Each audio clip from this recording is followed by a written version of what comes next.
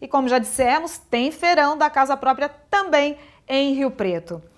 Lá, é, a ação está na Construic, isso mesmo, na Construic 2018, que é considerada a maior feira do mercado imobiliário no interior de São Paulo.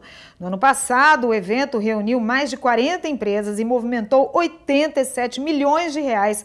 Neste ano, mais de 10 mil pessoas devem passar pela feira, que estará aberta hoje até às 10 horas da noite e amanhã das 10 da manhã até às 6 da tarde no Plaza Avenida Shopping.